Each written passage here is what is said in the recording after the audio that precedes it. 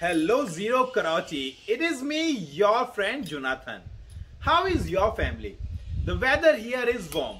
Congratulations on your bar mitzvah from India. May Vishnu caress you with all of his four arms. You are a real man now. That's the value of 11 goats. Great.